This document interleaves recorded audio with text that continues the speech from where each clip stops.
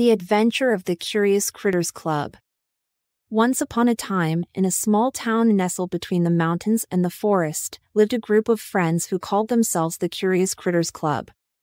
The club members were Lily, a brave and adventurous girl, Max, a boy with a keen eye for details, Mia, a thoughtful and creative artist, and Ben, a young scientist who loved to experiment and explore.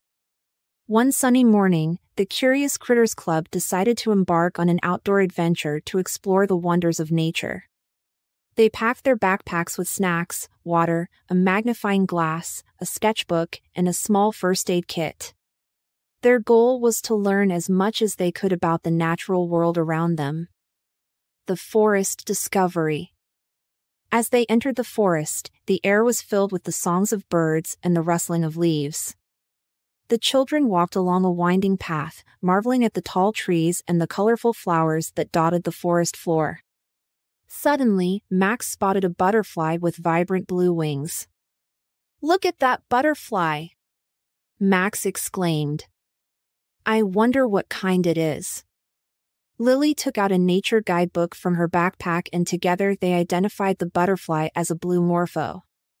They learned that these butterflies are known for their dazzling wings and that they play an important role in pollinating flowers.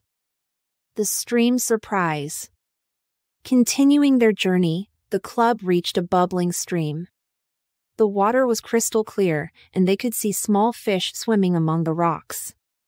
Ben suggested they test the water's pH level to see if it was safe and healthy for the fish. Using a pH test strip from his kit, Ben discovered that the water was perfectly balanced. This means the stream is a healthy habitat for these fish, Ben explained. Mia decided to capture the beauty of the stream in her sketchbook. As she drew, she noticed a family of ducks swimming downstream. The children watched in awe as the mother duck led her ducklings safely through the water. The Meadow Encounter After a while, they reached a sunny meadow filled with wildflowers and buzzing bees.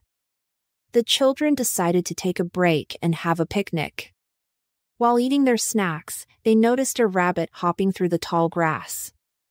Lily, curious as always, followed the rabbit at a safe distance and discovered its burrow. We should be careful not to disturb its home, Lily reminded her friends. She explained how every creature in the forest has a role to play and deserves respect.